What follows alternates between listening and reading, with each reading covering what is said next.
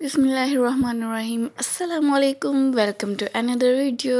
आज मैं बनाने जा रही हूँ बहुत ही यमी और डिलीशियस और झटपट से बन जाने वाली कराची बिरयानी, जो कि बहुत ही डिफरेंट स्टाइल से बनेगी। मेरे पास है चिकन, वन के जी, और टमाटर हैं साथ प्याज और हरी मिर्चें हैं, और तीन से चार आलू, और इमली का पल्प है, और साथ है लहसुन, अदरक का पेस्ट। और चलें जी, अब रेसिपी को स्टार्ट करते हैं। सबसे पहले प्यारी सी कढ़ाई में डालते हैं ऑयल और ऑयल में डालते हैं प्याज।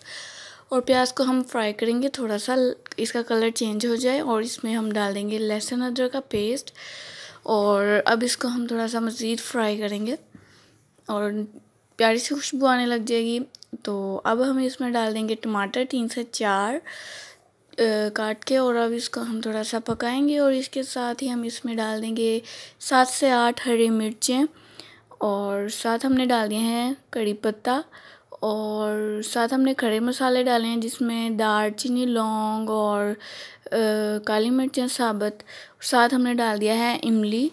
इमली को पानी में भिगो कर रख दिया था और अब हमने डाल दिए हैं इसमें लाल मिर्च हसब और हल्दी तकरीबन एक चम्मच और साथ हम डाल देंगे इसमें हंसपे ज़रूरत नमक और काली मिर्च डालेंगे वन टेबल स्पून और चलें जी अब इसको मिक्स करते हैं और इसको थोड़ी सी इसकी भुनाई करने के बाद इसमें ऐड कर देंगे चिकन और चिकन की बुनाई करेंगे थोड़ी सी और साथ ही इसमें डाल देंगे हम आलू और आलू के ऊपर डालेंगे हम फ़ूड कलर जर्दा कलर जो होता है।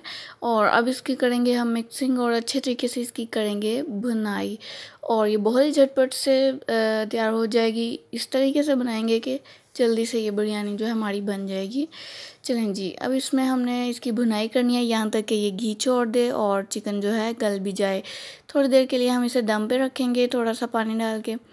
और ताकि ये चिकन जो है अच्छे से गल जाए और ये देखें, इसने घी जो छोड़ना स्टार्ट कर दिया और तकरीबन ये सॉफ्ट भी हो चुका है। और दूसरी तरफ़ हमने दो ग्लास दो बड़े ग्लास चावल भिगो कर धो के भिगो दिए।